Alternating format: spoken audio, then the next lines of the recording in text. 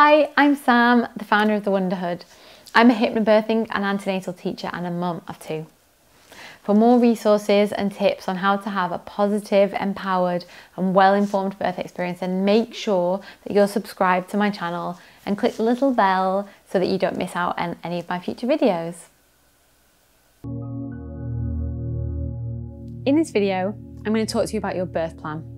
I know, controversial, and I'm sure you've been told not to bother making a birth plan because it'll literally just go out of the window at some point. So, I'll talk you through why it's so important to make a birth plan, when and how to do it, and then what to do with it once you've made it.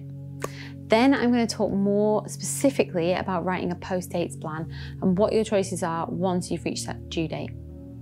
Okay, so first things first, I want you to rename your birth plan to your birth preferences. Sounds crazy, I know, but that's going to help you think of it more as a flexible guide for how you want to be cared for in labour, whatever happens, rather than a rigid checklist. Birth is unpredictable and unfortunately it can't be planned. So it can be helpful to approach your birth with an open mind and be able to flex and change as your labour unfolds. This unpredictability is also why it's so important for you to research and learn about your choices before labour begins, so that as soon as your labour starts, you feel confident that you've made all of your decisions in advance and you won't have to worry about remembering stats and figures or anything like that during labour. Having said that, you can still 100% plan for your ideal birth and aim for that as your plan A, but also have a think about your plan B, C, and D. And then you'll know that no matter what happens or where you give birth, that your midwife or consultant has guidelines of how you would like to be supported, which will make their job much easier and therefore you'll experience a lot more positive as you're more likely to get the care that you actually want. Like I said, it's so important. Throughout this course, I've talked you through and will talk you through a lot of the choices that you could be faced with during labour. So now you've got time to think them through and do some extra research or speak to your midwife about your specific concerns or circumstances. Once your midwife has answered any additional questions that you might have, then I'd suggest that you sit down with your birth partner and spend an hour going through this template. You can then talk through each option write down your preferences and make your decisions together in advance.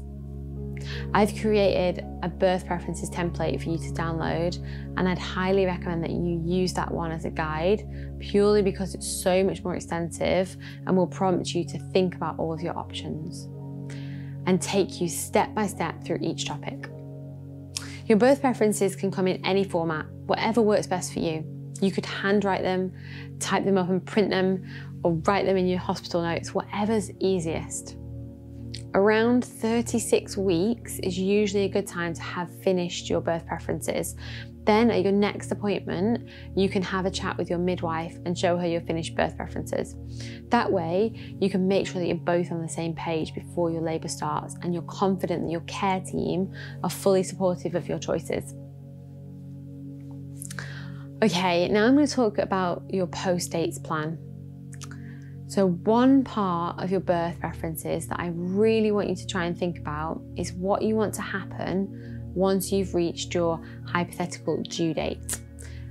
Would you want to have a membrane sweep or an induction? If yes, when? And if not, then what is your alternative preference? Do you want to wait until your baby is ready, however long that takes? Or do you want to have extra monitoring until your baby is ready? What is your cutoff for waiting? Lots of questions that you can answer to help you through those final few weeks with minimal stress and pressure. Once you've made a plan, then talk it through with your midwife. Make sure you do this before you reach your due date so that you won't have any surprises. Okay, so remember, research and learn about your options. Write your choices down in advance Share this with your care team. Plan for your dream birth, but also be prepared for all eventualities, whether that's plan B, C, or D.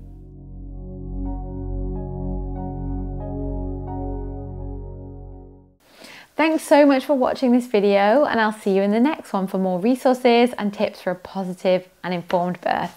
Bye!